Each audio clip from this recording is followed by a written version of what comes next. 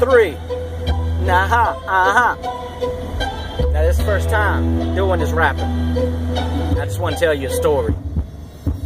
Uh huh. Now let me tell you a story from the first day that I met you. You were in a blessing, an angel in the sky that God has left me.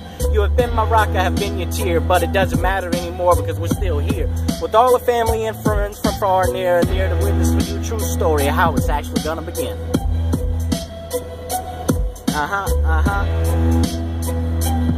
Uh huh, uh huh. Now, I'm so happy to be your husband. I'm so happy for you to be my wife. For our own little story that's about to take flight to a whole different level, a whole different ball game. As long as we are together, we can accomplish anything. I wish you'd understand how you make me feel, cause it feels like little butterflies are still trying to kill.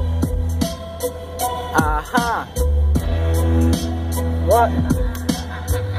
Here we go. Now it's nine years later with four little boys to show our love for one another hasn't stopped to even grow. I don't care about the piddly things, I just want you to know you're always on my brain and on my mind. Oh wait, that's the same thing. But it's straight, now you know. I love you through all the mistakes that we both made. We have lived or made everything okay.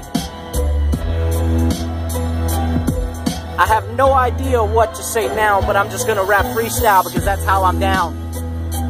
You may be in Eastwood now, but it doesn't really matter because we still loved each other without the last name change. That's it.